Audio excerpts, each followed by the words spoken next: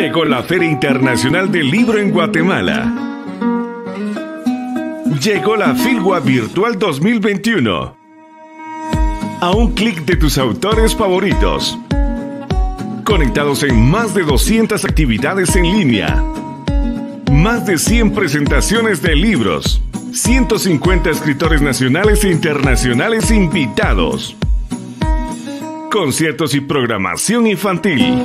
La feria se transmitirá en www.filwa.com. Del 2 al 12 de septiembre. Filwa, vamos por un país de lectores. Buenos días, amigas y amigos. Bienvenidos a la decimoctava Feria Internacional del Libro Filwa Virtual 2021 este año dedicada a la escritora Ana María Rodas y como invitado de honor el Festival Centroamérica Cuenta. La FILGUA es organizada por la Asociación Gremial de Editores de Guatemala, quienes dan la más cordial bienvenida a todos aquellos que nos ven desde nuestro sitio web www.filgua.com y nuestras redes sociales. Filgua es posible gracias al apoyo de las siguientes entidades: Ministerio de Cultura y Deportes, Ban Rural, Unión Europea, Centro Cultural de España, Guatemala.com, Fundación Riquen, el periódico La Hora, Parlacén, Caseta, Plaza Pública, Fejer, Agencia Ocote, Diario de Centroamérica, la Gran Campaña Nacional por la Educación y TGW, La Voz de Guatemala. Esta mañana nos encontramos en la sala Humberto Acabal para la presentación de una interesante ponencia titulada Redes de intelectuales y espacios de sociabilidad bajo el influjo de las nuevas corrientes de pensamiento en los albores de la independencia. Este es organizado por el Ministerio de Cultura del Salvador, el Mi Cultura, y eh, tendremos eh, la presencia de la doctora Eugenia López Velázquez, de quien me voy a permitir eh, dar unas palabras en cuanto a su reseña biográfica. Ella es miembro de número de la Academia Salvadoreña de la Historia, sus estudios pues versan en cuanto a la eh, licenciatura en Historia de la Escuela Nacional de Antropología e Historia de México, una maestría en Historia Contemporánea del Instituto Mora de México y un doctorado en Historia, Ciencias Sociales por el Colegio de Michoacán en México. Sus líneas de investigación pues versan en cuanto a la cultura política en el ámbito centroamericano y salvadoreño del siglo XVIII y XIX, historia contemporánea, estudios de independencia, metodologías de la historia oral, e historia contemporánea. En cuanto a su trabajo, pues es catedrática, docente e investigadora, adscrita a la Escuela de las Ciencias Sociales de la Facultad de Ciencias y Humanidades de la Universidad de El Salvador. Entre los cursos que ha impartido están Seminario de la Investigación en la Licenciatura de Historia, Taller de Herramientas Metodológicas de Historia Oral, Historia de Centroamérica, Teorías y Enfoques en el Campo de la Historia, Historia de América Latina, Historia de los Estados Unidos de América e Historia de México. Así es que sin más, para hablar en torno a esta publicación del Ministerio de Cultura, damos la bienvenida a la doctora Eugenia López. Doctora, el espacio es, suyo. Muchas gracias. Eh, bueno, voy a, presentar una, me voy a apoyar en una presentación para hacer esta exposición, entonces voy a subirla en este momento.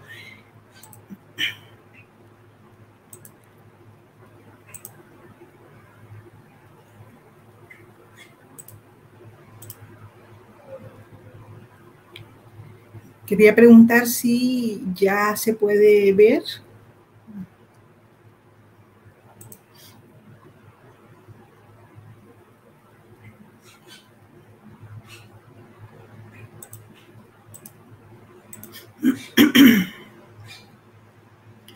Bueno, eh, espero que la estén viendo porque quisiera preguntarle a alguien si eh, se puede ver la, la presentación.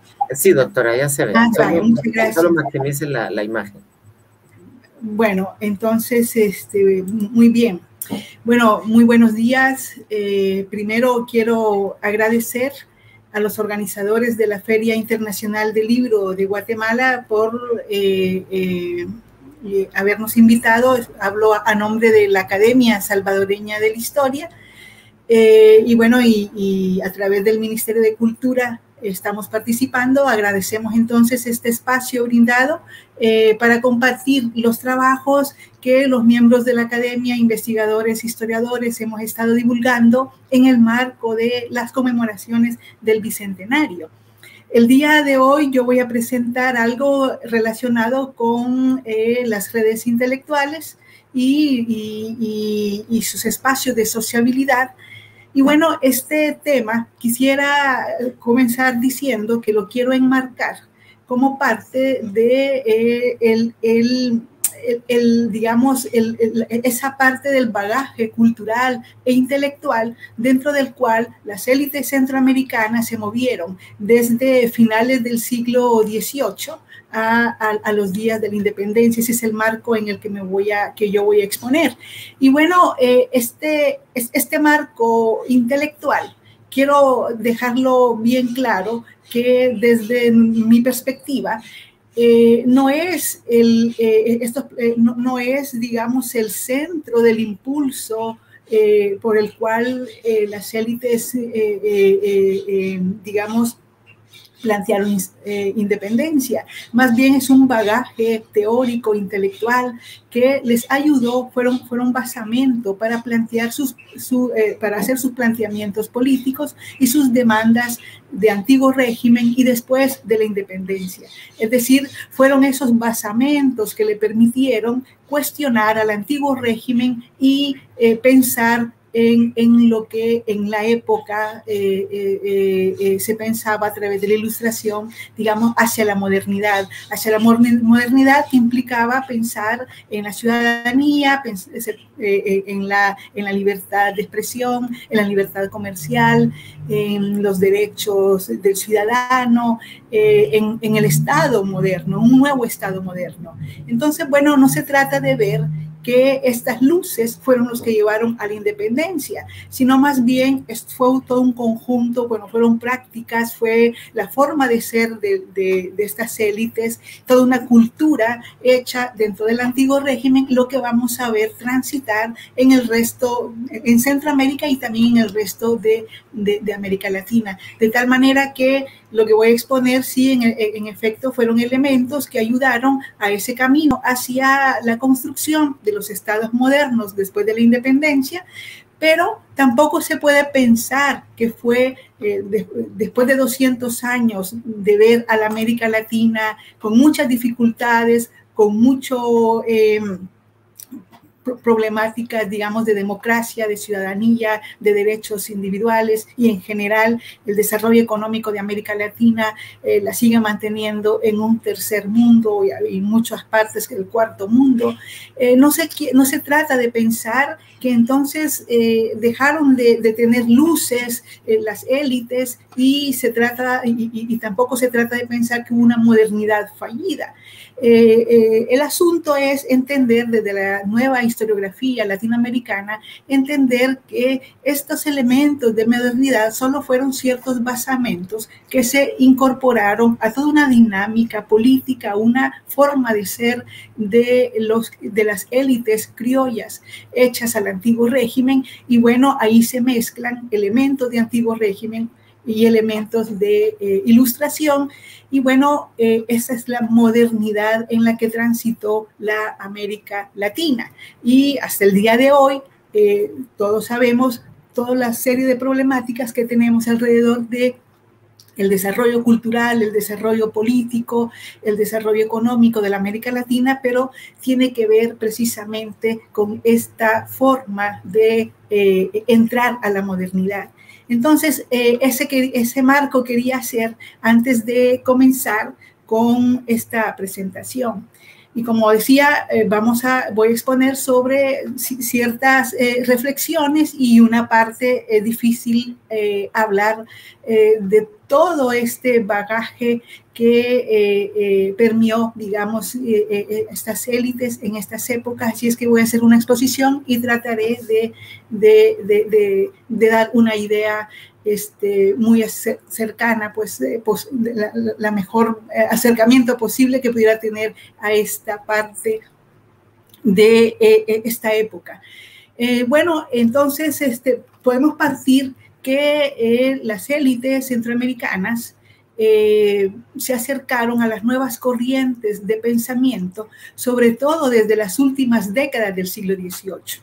No es solamente eh, en los años cercanos, sino que eh, las primeras generaciones, eh, estas generaciones del siglo XVIII, se fueron acercando a estas doctrinas en el marco también de que la monarquía absoluta, en el marco de que, que el reformismo Borbón se acercaba también a estas ideas, a estos planteamientos que hacía lo que hemos llamado la ilustración, eh, en, cuanto a ser racionales, ser efectivos, la, eficacia, eh, eh, la nueva administración pública, el desarrollo económico, el desarrollo comercial, el desarrollo tecnológico. Es decir, todo, e, a todo esto se abrió la monarquía y en ese espacio también pudieron introducirse las élites criollas mestizas y hay que decirlo sobre todo de la ciudad de Guatemala. ¿Por qué? Porque la ciudad de Guatemala,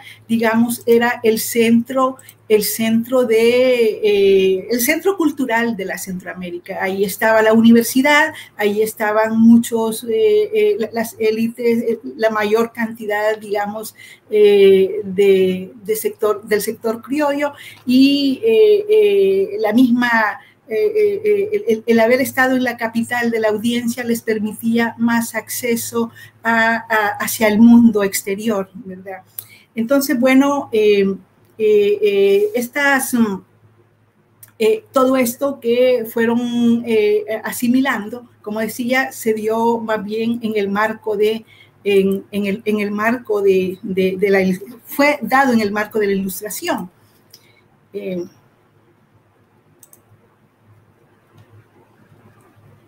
Sí, perdón, porque me estoy con... Bueno, de tal manera que entonces eh, este, este bagaje cultural, eh, digamos, eh, le va a permitir empezar a cuestionar, como decía, y va a ser el soporte de los propósitos renovadores políticos, administrativos de la monarquía en el marco de ese antiguo régimen, ¿verdad? Igual las élites fueron asimilando esos planteamientos y eh, para recrear planteamientos políticos y económicos, valores seculares, comportamientos e imaginarios, es decir, eh, se fueron transformando en cuanto a esto, ¿verdad? Eh, empezaron a, través de las lecturas, sobre todo de los libros que llegaban de, la, de, de, Francia, empezaron a, a, conocer nuevos planteamientos políticos y económicos, valores culturales, comportamientos e imaginarios que fueron esa base digamos, eh, eh, por lo cual ellos después fueron cuestionando el despotismo monárquico.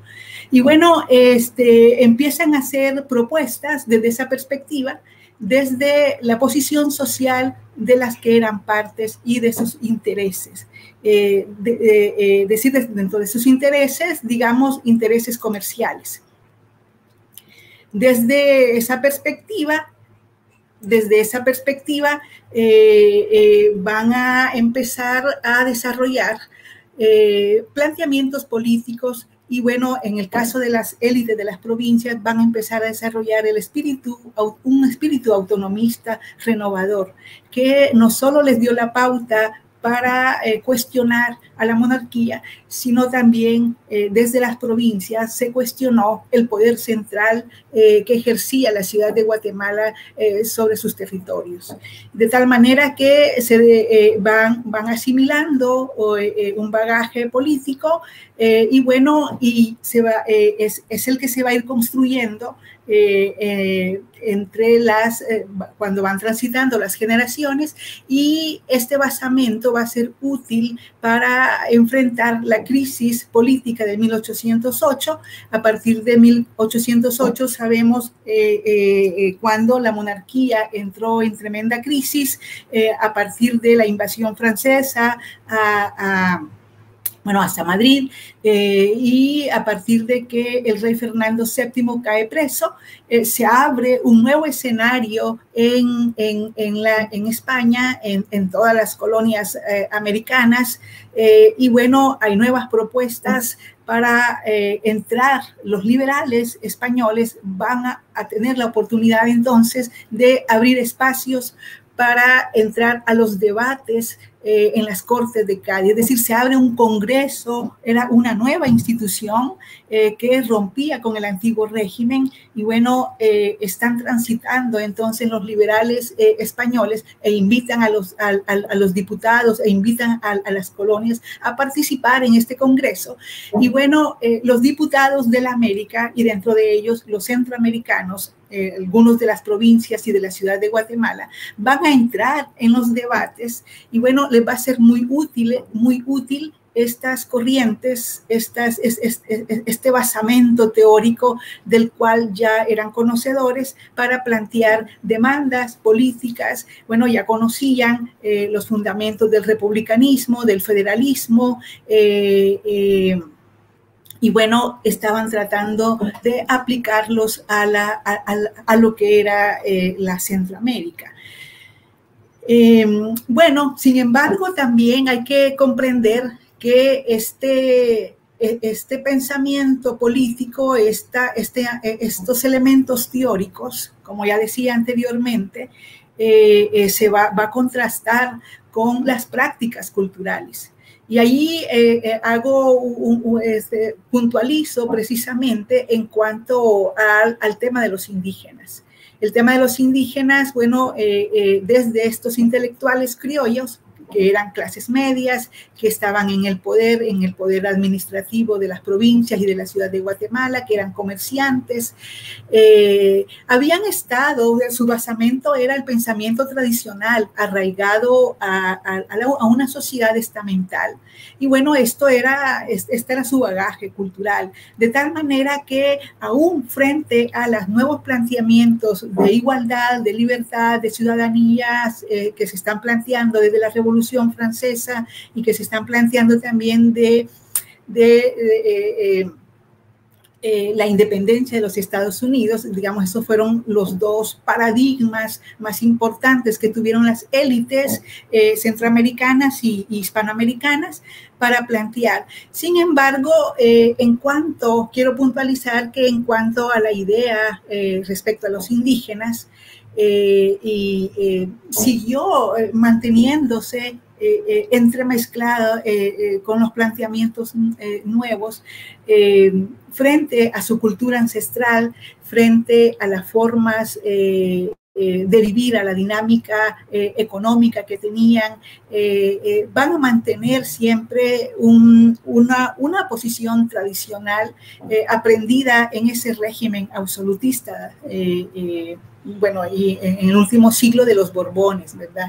De tal manera que los posicionamientos que van a tener las, estas élites eh, eh, eh, van a siempre mantener el mismo posicionamiento de las monarquías, de que debían de civilizarse, que deberían de abandonar su cultura, que deberían de volverse útiles, y bueno, aunque también cuestionaban, cuestionaban que a causa del abandono que, habían tenido, que había tenido la monarquía, los, eh, los indígenas habían caído en situaciones verdaderamente miserables. Sin embargo, eh, eh, se contrastaba el desprecio a la cultura de estos indígenas y tenían, ellos decían, que cambiar. Ese fue, digamos, el, posicionamiento eh, de estas élites. Eh, se mantuvo ese posicionamiento eh, en, el continuo, bueno, y hasta el día de hoy todos sabemos que el bagaje cultural que, que, que, existe en América Latina, en la Centroamérica, sigue siendo un, una un posicionamiento, digamos, despreciativo a, las culturas indígenas. Entonces, eh, eh, hablaban, como decía, del indio bárbaro, del indio torpe eh, e inferior, eh, eh, bueno, la imagen del, bárbaro era, era la que se presentaba, estos hombres de letras entonces copiaban eh, sistemáticamente los mismos paisajes, digamos, los, mismos pasajes de los, de los textos indígenas, de las crónicas y de los conquistadores y mantenían, digamos, la misma noción sobre estas culturas, ¿verdad? Bueno,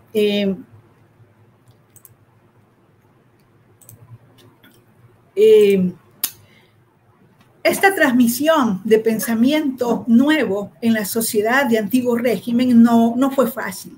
Se vivía un ambiente en el siglo XVIII, en las últimas décadas del siglo XVIII. Recordemos que estamos en la época de, digamos, de Carlos IV. Eh, eh, había mucha preocupación, había muchas tensiones eh, de la monarquía frente a España, frente a, un ambiente, digamos, demandador dentro de las colonias. Y entonces la monarquía, que quería ser ilustrada, había bueno, había estado retornando a, cierto, a, ciertos posicionamientos de antiguo régimen, de tal manera que eh, em, fue tomando eh, muchas restricciones para, para evitar, digamos, para limitar la opinión pública, para evitar que se introdujera entre las élites el pensamiento el pensamiento nuevo, eh, que se leyera, digamos, los nuevos textos que venían de Francia para la América. Y bueno, eh, eh, estaba en vigencia, recordemos, el Tribunal de la Santa Inquisición.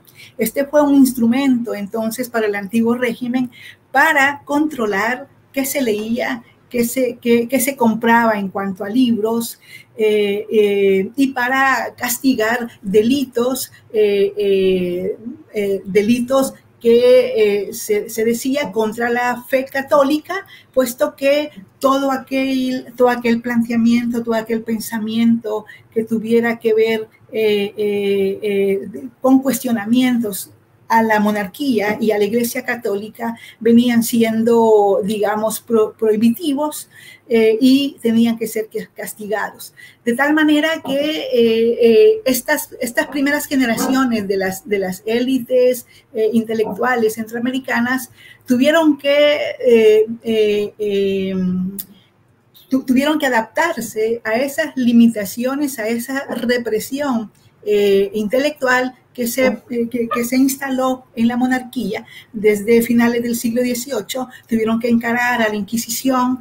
Eh, acordémonos que la Inquisición vigilaba a judíos, vigilaba a musulmanes, conversos, las malas costumbres, la bigamia, las blasfemias, todo, toda aquella crítica que en los pasillos, que en las plazas, que en la vida cotidiana la gente hacía contra el antiguo régimen, eh, podía ser visto como sospechoso, como subversivo, ¿verdad? Las supersticiones, las brujerías, todo esto, recordemos, eh, cabía eh, en un delito que podía ser castigado por la Santa Inquisición. Sabemos bien que no hubo tribunal de la Santa Inquisición en Centroamérica, pero habían comisionados que vigilaban permanentemente eh, cualquier delito y bueno, eh, eh, lo importante para, para, este ambiente era esa, esa, vigilancia y esa prohibición. Bueno, de hecho, llegaron a quemar, a quemar libros, ¿verdad? Y ya, y ya destruir bibliotecas. Porque también la Inquisición, dentro de ese marco de, delitos, cuestionaba la heterodoxia ideológica. Y bueno, es decir, los, a los que leían libros, digamos, prohibidos, porque se hizo toda una lista de libros prohibidos, sobre todo los que venían de, de Francia, se van a considerar personas herejes, ¿verdad? Entonces, estamos en la época de, del reinado de Carlos, de Carlos IV, y bueno, recordemos que este reinado coincide con la Revolución Francesa en verdad, eh, la monarquía española le temía a la Revolución Francesa. Eh, se, pensaba que era demasiado radical. Y bueno, fue entonces, esa fue la causa de por qué había que prohibir los libros de la que venían de, los franceses que difundían ideas revolucionarias y bueno, había que controlar entonces esa opinión, esa opinión pública, ¿verdad? Eh,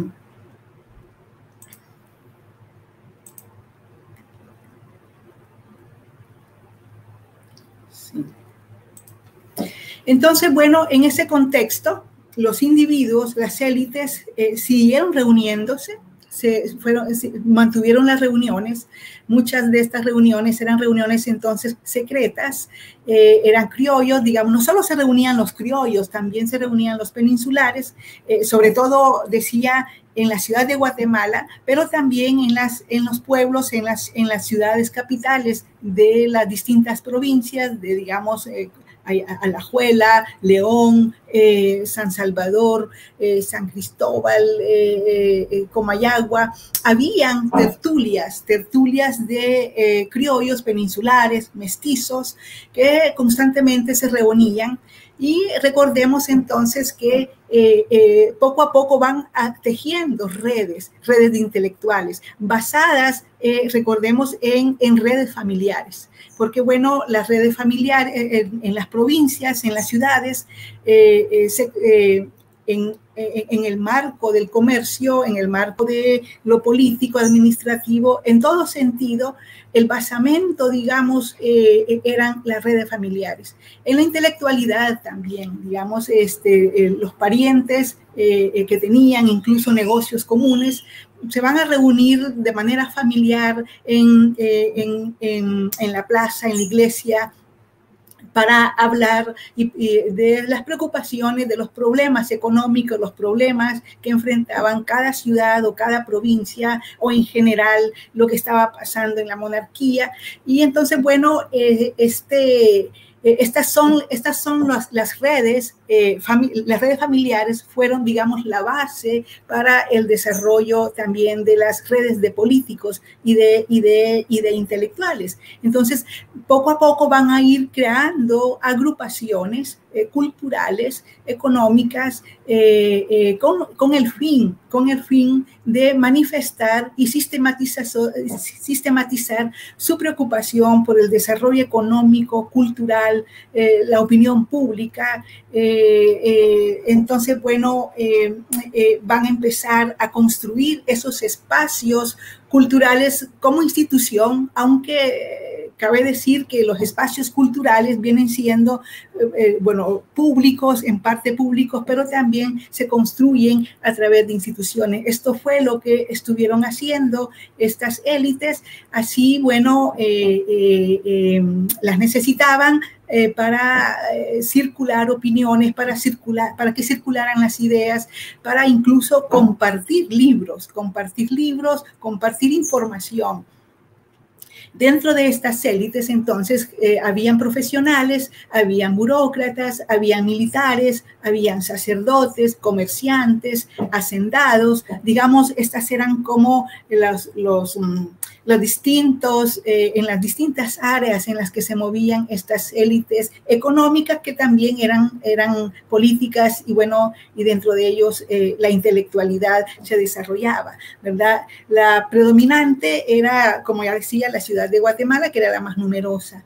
Eh, algunos miembros también de las élites locales y de las provincias van a tener vínculos con la, con la élite de Guatemala. No quiere decir que cada, que cada ciudad, cada provincia tenía un núcleo eh, limitado o un núcleo separado de las otras, de las otras eh, redes, digamos. Había una comunicación entre estas. De hecho, algunos de la provincia de San Salvador van a ser parte de los espacios abiertos por las élites de la ciudad de Guatemala. Me refiero, por ejemplo, eh, a las tertulias patrióticas en las que José Matías Delgado y otros sansalvadoreños eran, eh, eran miembros de estas tertulias que habían sido, bueno, que se reunían en la ciudad de Guatemala. Eh, los Aicinena fueron los que convocaron a estas tertulias, bueno, y se dan eh, escenarios eh, como este, como las tertulias patrióticas, los periódicos que van a surgir en estas épocas, eh, incluso desde finales del siglo XVIII al resto de las dos primeras décadas del siglo XIX. entonces, bueno, En, estos espacios, eh, bueno, como ya decía, tertulias, la Sociedad Económica de Amigos, eh, la Universidad de San Carlos jugó papel importantísimo eh, en, en, este espacio intelectual, bueno, porque sabemos que era el centro cultural más importante de la Centroamérica y también algunos seminarios, algunos conventos van a ser centros de producción, digamos, intelectual. Eh, entonces, bueno, esta relación intelectual entre las élites económicas y culturales de Guatemala y de la provincia eh, no es, no, eh, recordemos que es interesante porque dentro de estos, estos miembros de las élites va a haber tensiones económicas. Ya decía yo que en, en, en, algunas ocasiones y las tensiones más fuertes que tenían los, mm, las élites económicas de la provincia de San Salvador era con las, los comerciantes de la ciudad de Guatemala y en general con toda la administración pública de la ciudad de Guatemala que favorecía a los comerciantes de la ciudad de Guatemala.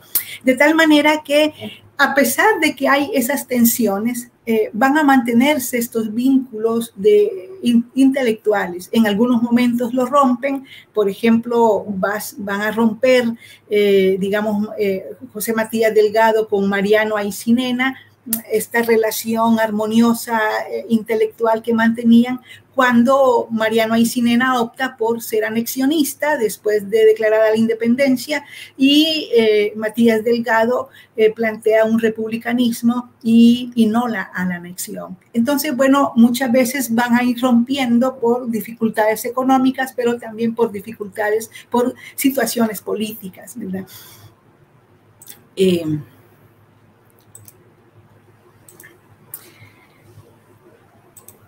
Entonces, bueno, en ese contexto eh, se, dieron todos esos debates, una intensa producción de debates, eh, planteamientos que, como ya decía, presentaron a las, a las cortes cuando se abrieron las cortes, planteamientos desde las localidades, desde las asociaciones que ya existían, eh, desde las instancias administrativas, eh, que contenían reflexiones y propuestas para dar solución a las problemáticas.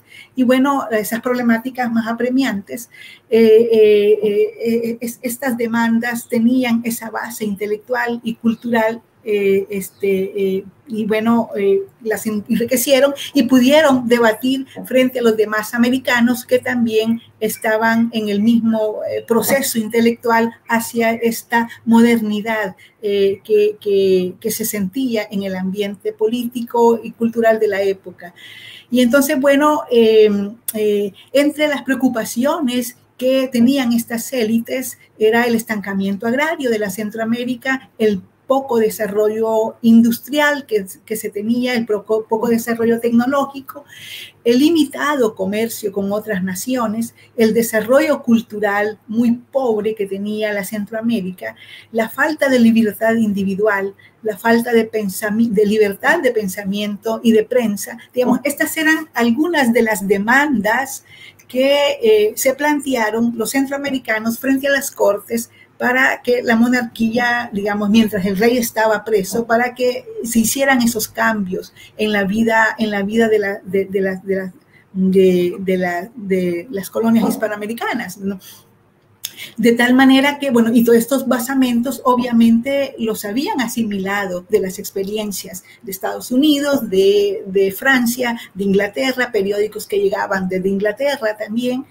Y bueno, eh, eh, em, este basamento estaba, bueno, ellos eh, leían a Adam Smith, leían sus planteamientos de economía política, leían, digamos, sobre el, sobre el libre mercado, conocían sus planteamientos de libre mercado, sus planteamientos de liberalismo, también conocían los planteamientos de liberalismo español que planteaba Melchor de Jovellanos, un jurista y economista. Recordemos que eh, había publicado sobre el comercio y el desarrollo económico de la España y América. Es decir, habían intelectuales desde, la península que estaban planteando cambios sustanciales bajo la nueva, bajo la modernidad, eh, y, uno de ellos era Melchor de Jovellanos, pero incluso a finales del siglo XVIII también era prohibido leer a estos, estos autores españoles porque estaban planteando nuevas formas de relacionarse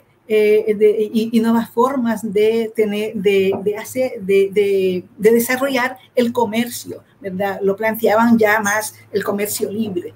Y la monarquía, recordemos, quería tener, mantener restricciones comerciales frente a sus colonias. Eh, también eh, leían obras religiosas obras, obras religiosas o obras también que cuestionaban la, religión. Eh, hicieron, eh, eh, no solo eran lecturas de economía, de antirreligiosas, o, sino también leían poesía, leían teatro, leían fábula, leían novela, en fin, todos estos libros, todos estos libros lograban introducirlos a Centroamérica Mm, a través de, lo, de los barcos mercantes, pero de manera clandestina.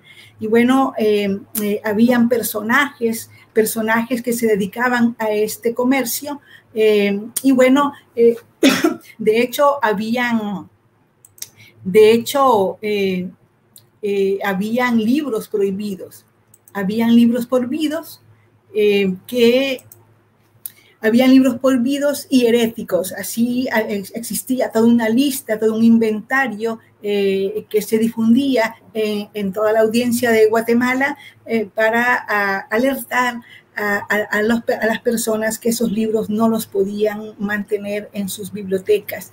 Y bueno, hacia, eh, digamos, estas prohibiciones, como ya decía, eran prohibiciones que venían desde el siglo XVIII y bueno, pero recordemos que estas provisiones se liberaron después de las Cortes Gaditanas. Eh, eh, después de las Cortes de Gaditanas hay todo un espacio libre de opinión pública. Pero al principio, antes de las Cortes Gaditanas, eh, las élites tuvieron que lidiar, digamos, con todas estas restricciones que, tenían para hacer lectura de libros sobre todo decía franceses como Rousseau, el contrato social era un libro prohibido, a muchos de ellos les quitaron estas, estos libros de sus bibliotecas, como decía, y, bueno, y se los quemaron.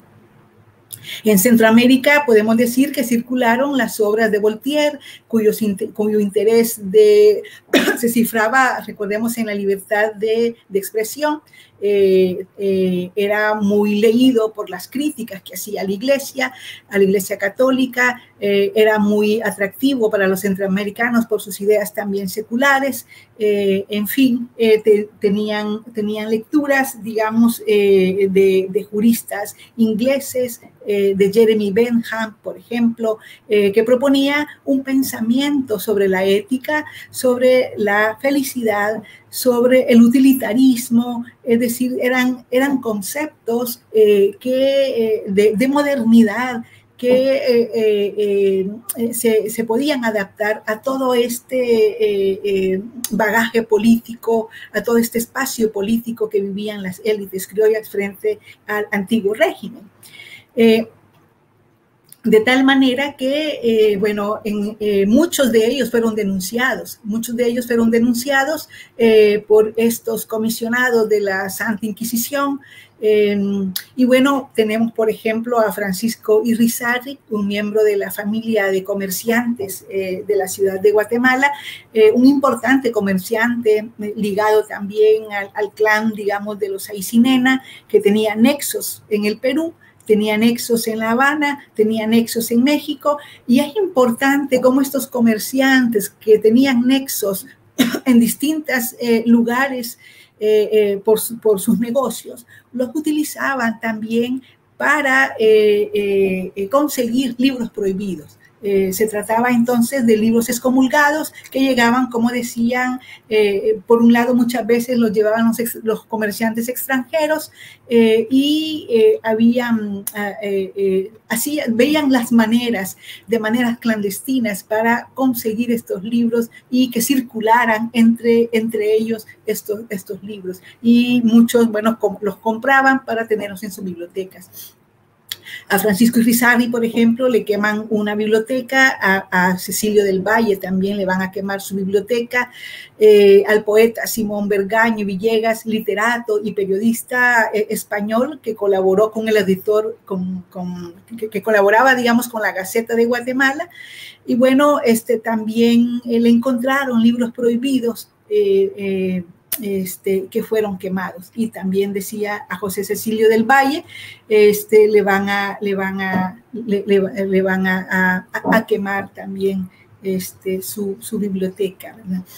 Lo mismo sucedió también con eh, el canónigo José María Castilla, eh, a quien le decomisaron algunos libros, entre los cuales estaba, por ejemplo, El espíritu de las leyes y las cartas persas de Montesquieu, texto en los que, eh, bueno, eh, eh, texto que leían los centroamericanos también, y bueno, era un texto, como sabemos, que cuestionaba el antiguo régimen europeo, el antiguo régimen y el absolutismo, ¿verdad? A Manuel Montúfar también le pasó lo mismo, Manuel Montúfar, recordemos que es el escritor de las Memorias de Jalapa, tuvo que sufrir también esta esta, eh, eh, esta persecución, digamos. En 1798 también el sacerdote Liendo y Goicochea, eh, a pesar de que era funcionario de la, Inquisición, porque era sacerdote, fue denunciado junto a otras tres personas, entre ellos a Fray Arce, ante el inquisidor y bueno, por tener libros prohibidos. Eh, en fin, eh, eh, tenemos que se vigilaba, se vigilaba lo que escribían, no solo lo que leían, también se vigilaba lo que escribían, lo que leían los intelectuales, por el miedo al radicalismo que podrían asimilar por el radicalismo eh, eh, similar al de la Revolución Francesa. Y entonces, bueno, eh, las autoridades trataron de controlar este comercio de los libros. sin embargo, sin embargo, tenían estrategias, tenían maneras de cómo seguir introduciendo esta, esta producción, digamos, estos textos, ¿verdad? Por ejemplo, en la época de 1789 a 1794, el presidente Bernardo, Bernardo Troncoso Martínez que gobernaba, eh, digamos, la audiencia, había dado órdenes eh, eh, respecto a vigilar los libros que ingresaban a, la audiencia de Guatemala por los puertos, para lo cual pidió al administrador general de Alcabalas que revisara las facturas las facturas de compras que hacían los, los, ciudadanos, las personas de las ciudades que, mm, eh, que, y bueno, y que revisaran facturas que llegaban de Europa para ver si no se colaban en estas facturas algunos libros de los que estaban prohibidos. Eh, entonces, bueno, en Centroamérica eh, también se leía esta importante lectura, el teatro crítico y sus cartas eh, y sus cartas eruditas del benedictino Benito Jerónimo de Feijo. Y bueno, eran, eran, era otro, otro, otro, otro texto, digamos, muy codiciado por, esta, por estas intelectualidades. Entonces, bueno, decía, digamos, a, eh, habían, eh, se, empezaron a desarrollar estos espacios de sociabilidad. Eh, tenemos entonces, decía, la universidad, la, Universidad de Guatemala.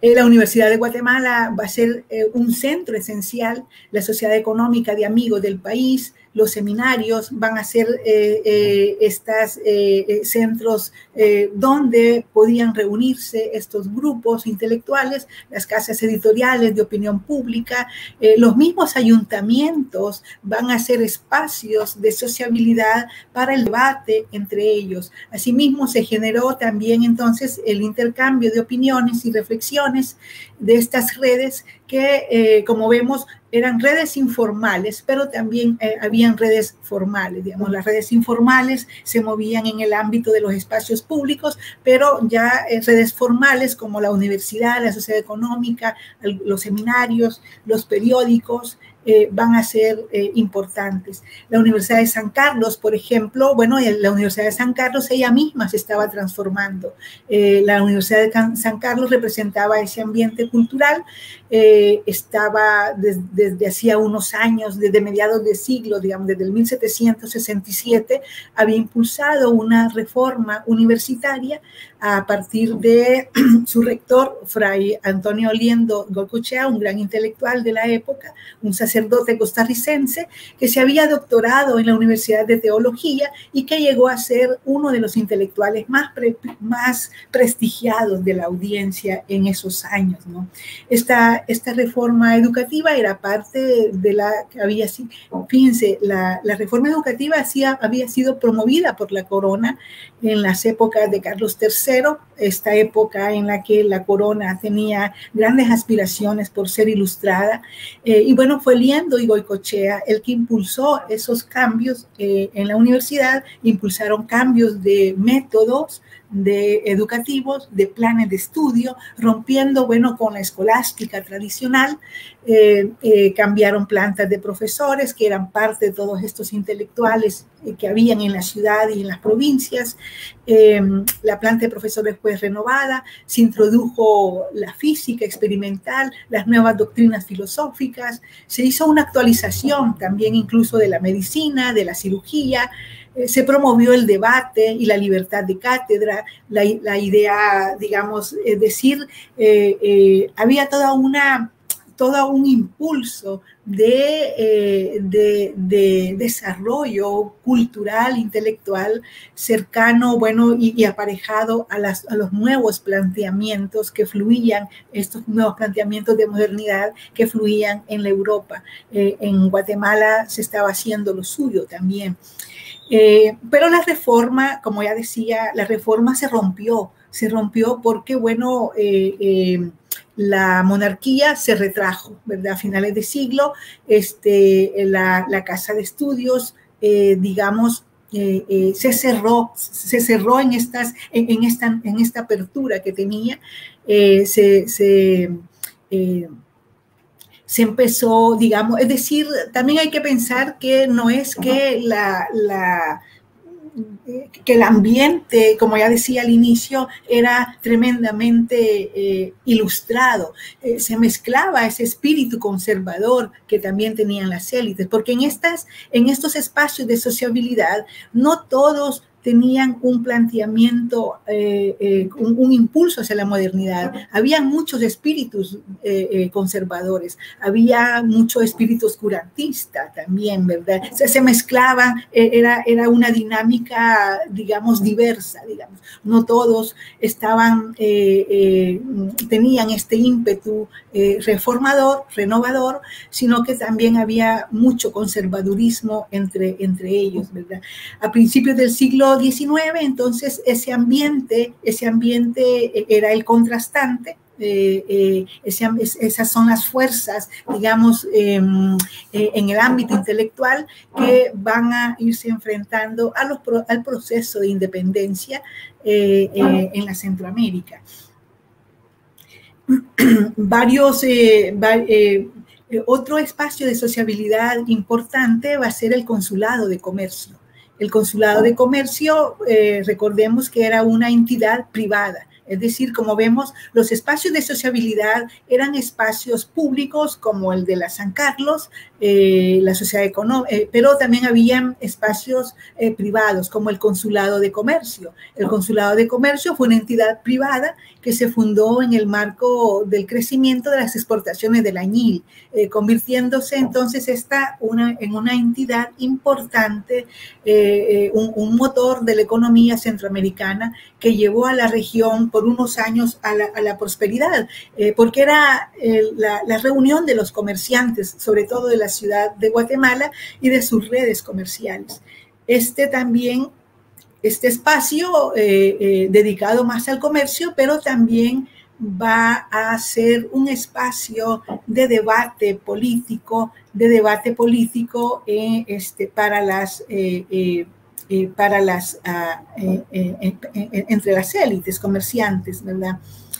El Consulado de Comercio sabemos que se creó en, el 1793 y tenía, bueno, eh, tenía eh, grandes aspiraciones eh, para fortalecer e incrementar el intercambio comercial.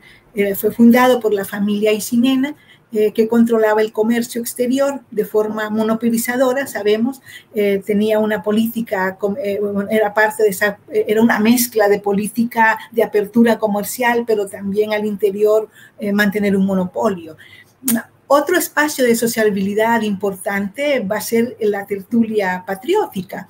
Las tertulias patrióticas, ya lo comentaba yo hace un momento, las tertulias patrióticas eh, van a ser, eh, eh, va, a ser un espacio importante y muy rico.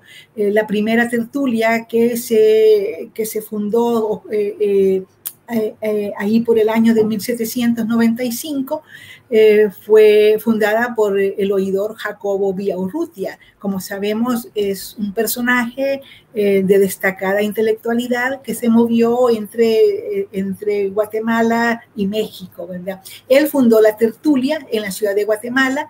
Y bueno, este, esta tertulia patriótica, digamos, el nombre no era local. Sabemos que habían tertulias patrióticas por toda la América. Esto nos muestra el vínculo, las redes que también mantenían fuera de la audiencia con eh, eh, intelectuales de toda la, de lo que era la América e incluso de España, porque había unas tertulias patrióticas también en España, en, en, el resto de la América hispana, y bueno, este, esta asociación fue útil para reunir a, artistas, a poetas, a, distintos eh, eh, eh, personajes intelectuales, entre ellos el doctor García Aguirre, José Felipe, Antonio García Redondo, José Sierra, Juan José Barrios, Francisco Barrundia, Alejandro Ramírez, José Antonio, el Antonio, Antonio José Liendigo y Cochea,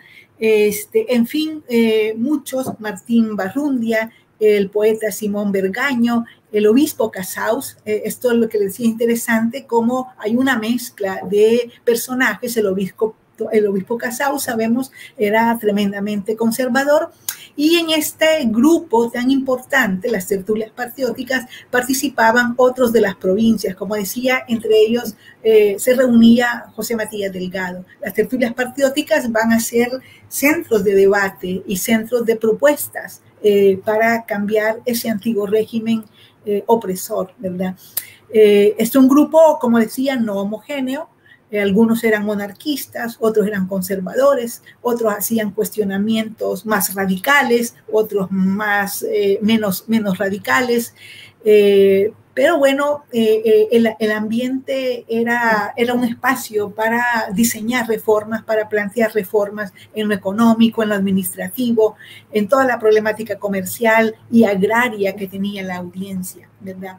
Eh, Urrutia entonces va, va, a desarrollar proyectos junto con otros personajes, algunos comerciantes y hombres de letras, eh, eh, entre ellos Sebastián Melon, eh, José Victoria Retes, y bueno, eran, eran de, amplio, de, de, amplio espacio, ¿verdad? Porque también se reunían con las autoridades políticas de la audiencia, con, con, peninsulares también, ¿verdad?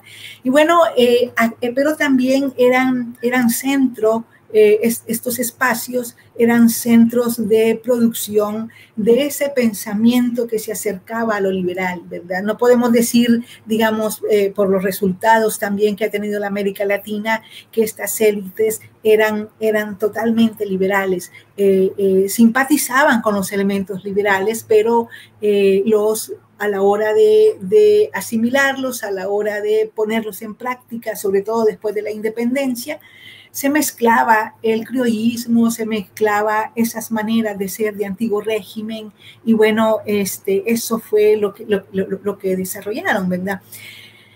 Eh, podemos decir entonces que en el caso de la tertulia patriótica, esta eh, eh, fue suprimida en, esas épocas de represión y vuelta a abrir, digamos, en, en el 1820 se volvió a abrir cuando el antiguo régimen, cuando, perdón, cuando Fernando VII, recordemos que entre mil 1814 a 1820 volvió al absolutismo después de una época de, constitucionalismo, eh, cuando llega al poder. Eh, retorna y, dice, bueno, que hay que volver a, lo de siempre y eh, limitó la constitución gaditana. Pero en el 20, bajo la fuerza liberal de, de la península, el rey tuvo que volver a aceptar el régimen constitucionalista, de tal manera que otra vez en el 1820, muy cercano ya a la independencia, a la consumación de la independencia, eh, se funda, esta nueva, eh, se funda una nueva tertulia patriótica, esta vez eh, fundada, bueno, ya había, ya había muerto muchos de los señores eh, de las épocas de finales del siglo XIX, de las primeras décadas del XX, y, están, eh, digamos, a la palestra cultural otros personajes que habían crecido, que habían, se habían construido también bajo esa línea cultural, ¿verdad? Y bajo esos espacios culturales, esas, esos, esas redes eh, familiares, intelectuales, de políticos y esos espacios de sociabilidad construidos. Y entre ellos tenemos a José María Castilla. José María Castilla, digamos, va a ser muy importante también para el siguiente proceso eh, hacia la independencia. Recordemos entonces que yo decía que a partir de 1820 las élites eh, eh, en, en, Centroamérica van a ir tomando posicionamientos que al final de cuentas fueron confrontados. Por un lado, habían, eh, habían eh, eh, grupos que aspiraban, digamos, al liberalismo, que aspiraban también, pero, digamos, pero al centralismo. Y habían otros grupos que aspiraban también al liberalismo, al republicanismo, pero con más autonomía provinciana. Sobre todo las élites de las provincias van a ir asimilando el republicanismo y el federalismo con poderes, con, con, menos poder central y más poder hacia las provincias. Y entonces, bueno, eh, eh, en, estas en estas reuniones, en estas tertulias, se mezclaban también y debatían, pero poco a poco eh, van a irse separando ya cuando se va acercando, digamos, las declaratorias de independencia, porque, bueno, fueron asimilando posiciones políticas contrarias, ¿verdad? Entonces, José María Castilla va a ser uno de ellos. Él era, era un personaje que eh, eh, conocía de las ideas liberales, del republicanismo, simpatizaba con esas ideas. Y bueno, eh, también se reunían en esta nueva tertulia patriótica Pedro Molina, José Francisco Barrundia, José Beteta, Manuel Montúfar, Marcial Sabadúa y, todo, y Matías Delgado también allí, un importante intelectual, digamos, de la provincia de San Salvador. Eh, aquí ya para, el mil, para, para, estos años cercanos a la independencia, ya los debates ya son más cercanos a proyectos de republicanismo, proyectos de eh, nuevos estados eh, modernos, como ya se estaba viendo en, en, el, en el, sur de América desarrollar. Y bueno, otro espacio importante también en esa época fue la sociedad económica del país, ¿verdad? Este, la sociedad económica del país que también jugó ese, ese lugar como espacio eh, de sociabilidad eh, intelectual. Eh, y bueno, en esos años, la Sociedad Económica de Guatemala, digamos, estaba al frente eh, la, dirigía de José de Aicinena y en ese marco también están debatiendo eh, las nuevas circunstancias de la monarquía, esta monarquía constitucional, que de alguna manera, bueno, eh, recordemos nosotros que los centroamericanos se plantearon independencia nada más hasta muy cercana a la declaratoria de independencia. Todavía en el 1820, las élites y los políticos y los comerciantes seguían impulsando planteamientos reformadores dentro de la monarquía. Y dentro de ese marco es que planteaban los Aicinena y todos los demás intelectuales eh, cambios en el comercio, cambios en la forma de, de administrar a la audiencia, cambios, en fin, cambios en todo el ambiente cultural, pero sobre todo el comercio, que era una de las preocupaciones más importantes, y el desarrollo del agro. Y bueno, eh, eh, hacia el 1820 seguían planteando estas, estas, eh, estas ideas reformadoras dentro de la monarquía. No se planteaban todavía la independencia. ¿Verdad? Este, los Aicinena jugaban en ese ambiente, en ese ambiente jugaban un papel importante. Sabemos que la familia Aicinena, bueno, fue una familia muy extensa, eh, eh, que había llegado a, Guatemala a y, bueno, y desarrolló toda una red de, eh, comercio alrededor, sobre todo del añil, pero también sobre, con otros productos. Eh, llegaron a ser casi como banqueros este, eh, de muchos provincianos eh, que necesitaban préstamos. en fin, llegó a tener un poder grande económico, pero también político. A la hora, digamos, en el 1820, los Aicinenas son parte de, esta, de, esta, de estos personajes eh, digamos, de la intelectualidad y de la política. De hecho, los Aicinenas van a incidir tremendamente en la, en la declaratoria de independencia, cuando recordemos que Iturbide fue el que el que propició, propuso que se declarara independencia eh, eh, y que se unieran a México.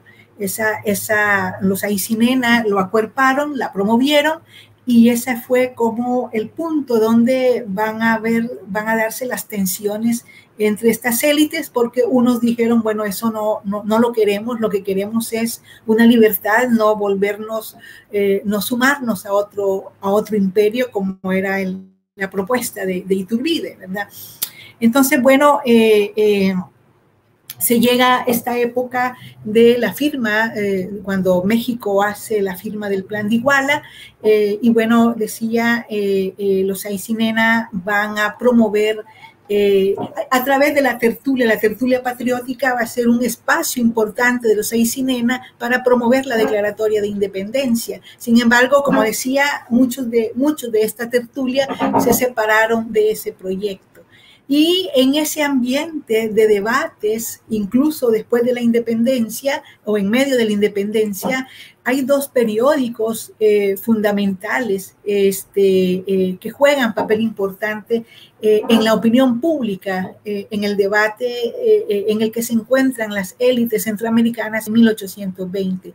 Es el, el Amigo de la Patria, dirigido por José Cecilio del Valle, y el editor constitucional, dirigido por Pedro Molina. ¿Verdad? Este, entonces, eh, em, estos dos periódicos en el 1800 20 volvieron, eh, bueno, el, editor constitucional eh, eh, surge y el amigo de la patria vuelve a abrirse y van a ser puntales importantes en el debate en el que están los centroamericanos. Y como decía, el centro era el comercio, el, problema agrario, el problema social, en fin, todas las problemáticas que tenía la Centroamérica se están debatiendo en estos periódicos, pero también se están debatiendo cosas que están pasando en el sur de América, las propuestas que están eh, surgiendo después de las independencias. Es decir, van a ser unas lecturas eh, eh, muy interesantes, muy importantes.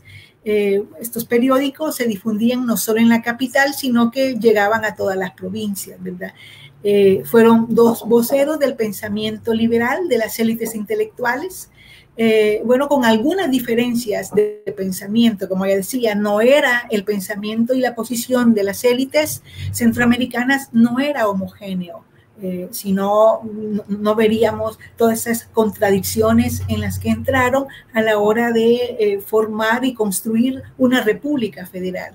Hubo dos posicionamientos políticos y sobre todo tenían que ver con el territorio de las élites Eh, la territorialidad jugó papel importante. Eh, eh, tendían las élites de la ciudad de Guatemala a pensar en un proyecto centralista y tendían las élites de las provincias a, a, defender, a tener propuestas para el desarrollo propio de sus territorios. Entonces, esa era una de las tensiones que a la hora de la independencia jugó papel, papel importante.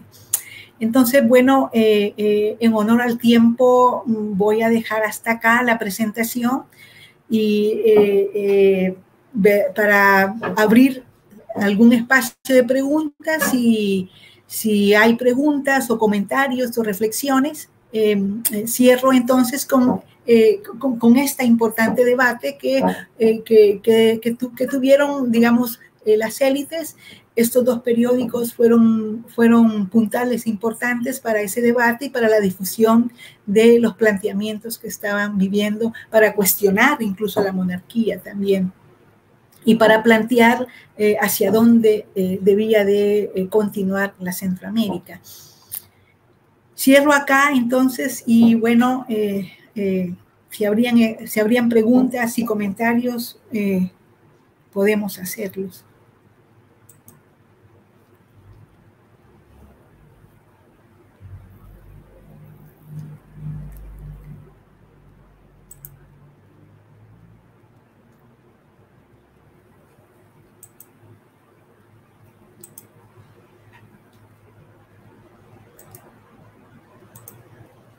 Bueno, ajá. Hay una pregunta, ¿qué influencia tuvo México?